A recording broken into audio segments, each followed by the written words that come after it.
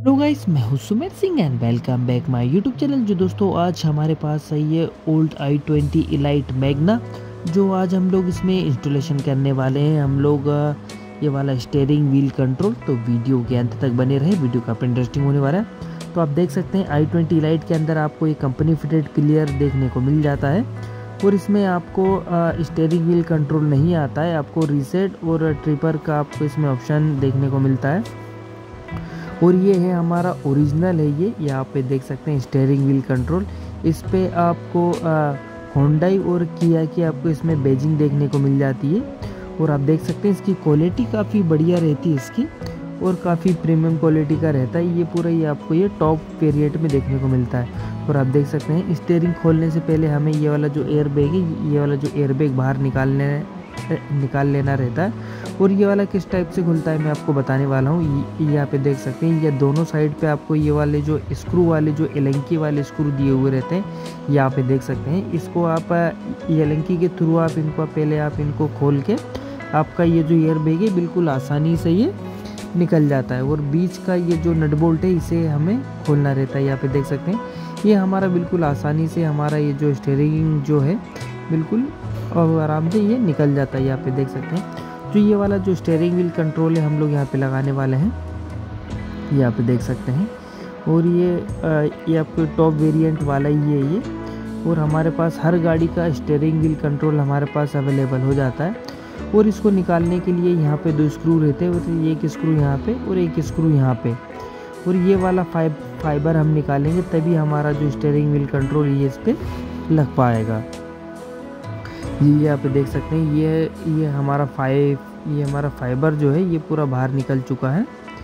और ये वाला जो स्टेयरिंग व्हील खोलने के लिए इसमें जो डमी पीस दिया हुआ है इसको खोलने के लिए यहाँ पे भी चार स्क्रू दिए हुए दो दो नीचे और दो आ, राइट और एक लेफ़्ट में कसा हुआ रहता है। यहाँ यहाँ पे देख सकते हैं ये ट्रिपर वाला हमने ये वाला खोल लिया है। और हम लोग अभी ये जो स्टेयरिंग व्हील कंट्रोल हम लोग इसमें लगाने वाले हैं। और ये भी बिल्कुल सॉकेट टू सॉकेट रहता है और ये भी बिल्कुल आसानी से फिटिंग हो जाता है यहाँ पे देख सकते हैं। कहीं से कहीं तक गेप गेप नहीं है, वो नहीं है और बिल्कुल प्रॉपर तरीके से आपका ये फिटिंग हो जाता है। और इसमें भी चार स्क्रू कस जाते हैं, जो ओरिजिनल जगह पे ही बिल्कुल प्रॉपर तरीके से फिट हो जाता है। और ये वाला हम लोग अभी फाइबर कसने वाले हैं। यहाँ पे देख सकते हैं स्टेयरिंग व्हील कंट्रोल हमारा पूरा कंप्लीट हो चुका है, पीछे से भी कस गया और ये हमारे जो स्टेयरिंग व्हील कंट्रोल है, वो भी कनेक्शन हो चुका है, बिल्कुल बढ़िया। और यहाँ पे जो हमने स्टेयरिंग व्हील कंट्रोल तो लगा दिया है, और ये जो स्टेयरिंग के नीचे एक ये वाला जो वाइट कलर का जो सॉकेट है, जो ये आप यहाँ पे देख सकते हैं, इस पर आपको वाइट पे वाइट पे ब्लैक लाइन आपको ये वाला जो वायर रहता है, और ये वाला जो ग्रीन वायर आप देख पा रहे होंगे ये वाला जो ग्रीन वायर है, इसके साइड में हमें ये वाले वायर को निकाल के, इसके साइड में हमें ये वाला वायर जो है, हमें लगाना रहेगा। और ये हमारा स्टेयरिंग व्हील कंट्रोल हमारा ऑन हो जाएगा। ये आप यहाँ पे देख सकते हैं। ये शायद आप देख पा रहे होंगे। ये वाली वायर हमने वाइट पे ब्लैक लाइन वाली हमने हटा दी है। वहाँ से निकाल लिया। और ये वाली जो ग्रीन वाली वायर दिख रही होगी आपको, ये वाली ग्रीन पर रेड लाइन है। ये ये वाली वायर को हम लोग इसके साइड में हम लोग इंस्टॉल कर देंगे। ये आप, यहाँ पे देख सकते हैं, इसको हमने बिल्कुल प्रॉपर तरीके से हमने इसको, वायर को हमने बिल्कुल अंदर कर दिया इसके।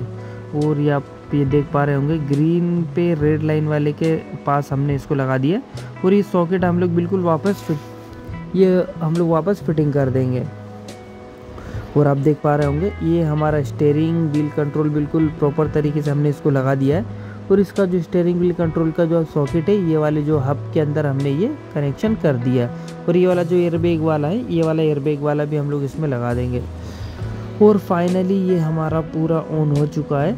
यहाँ पे देख सकते हैं, पूरा फाइनली ये हमारा फिटिंग हो चुका है। स्टेयरिंग व्हील कंट्रोल ये आप देख पा रहे होंगे। और काफ़ी बढ़िया क्वालिटी का। और जैसे आप कभी हेडलाइट ऑन करते हैं पार्किंग ऑन करते हैं तो ये आपका इसके अंदर भी आपकी लाइट ऑन हो जाती है ब्लू कलर की आप ये देख पा रहे होंगे।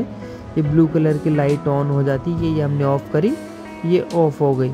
ये हमने ऑन करी, ये ऑन हो गई। और आप देख पा रहे होंगे, इस, इसके जो मीटर पे और ये जो एसी वेंट पे और आपके जो जो सिस्टम है, इस पर भी आपको ब्लू लाइट रहती है। ये वही कि वही पूरा टॉप वेरिएंट वाला, ये हमारा जो इसके अंदर भी ब्लू लाइट जलती स्टेयरिंग व्हील कंट्रोल पे। और आप और आप देख पा रहे होंगे, इसके अंदर बिल्कुल प्रॉपर तरीके से वर्किंग कर रहा है हमारा स्टेयरिंग व्हील कंट्रोल ये ये म्यूट भी काम कर रहा है, ये वॉल्यूम माइनस प्लस और आप देख पा रहे होंगे, ये हमारा मोड ये आप देख पा रहे होंगे, ये हमारा मोड ऑन हुआ, ये मोड हम अभी कर रहे हैं। तो यहाँ पे फ़ंक्शन चेंज हो रहा है यहाँ पे देख सकते हैं वॉल्यूम माइनस प्लस ये हमारा गाना नेक्स्ट हो चुका है, ये हमारा गाना नेक्स्ट हुआ। ये प्रवेश हुआ। ये बिल्कुल प्रॉपर तरीके से ये वर्किंग करता है। और आप देख पा रहे होंगे, ये वाला रीसेट और ट्रिपर और ये भी बिल्कुल प्रॉपर तरीके से वर्किंग करता है। ये आप ये देख पा रहे होंगे। ये आप ये ये हमारा ट्रिपर ये आप ये देख पा रहे होंगे यहाँ पे मीटर पे। ये बिल्कुल प्रॉपर तरीके से वर्किंग करता है। ये आप, और बिल्कुल बढ़िया तरीके से ये बिल्कुल इंस्टॉल हो जाता है ये वाला। और ये पूरा विदाउट वायरिंग कटिंग इंस्टॉल हो जाता है। यहाँ पे देख पा रहे हैं। ट्रिपर और रीसेट भी बिल्कुल प्रॉपर वर्क कर रहा है।